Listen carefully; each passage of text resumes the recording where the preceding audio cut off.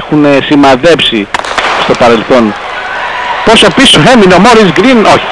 Έφυγε τώρα. Έφυγε δυνατά, εντυπωσιακά και κοιτάξτε τη διαφορά στον περίπατο που κάνει.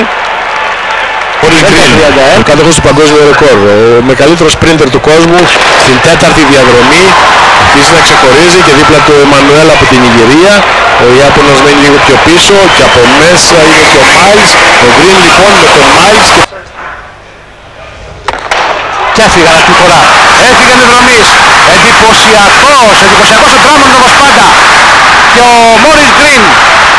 Ο Μόρις Γκριν σταματάει ο Ντράμοντ και έχουμε τους 4, ο Μόρις Γκριν ο Αμερικανός στο 5, ο Ντράμοντ ο άλλος Αμερικανός στο 6, ο Κόλλινς από ε, στο 7 και ο Πόλτον στο 8 έφυγαν.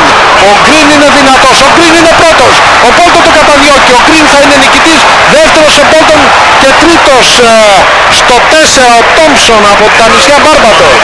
Γκριν ο Αμερικανός, ο Διάδοχος